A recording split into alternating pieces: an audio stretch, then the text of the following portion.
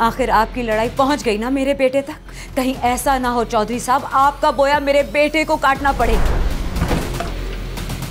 लोग आपसे बदजन हो गए और दिल शेर को अपना हीरो बना लिया उन्होंने। इतने सारे लोग जख्मी हुए ये किस किस्म की लड़ाई है?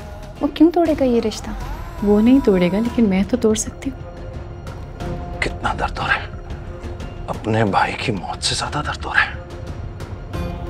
दिलशेर का कल एक झगड़ा हुआ। आज एक लड़ाई हो जाएगी।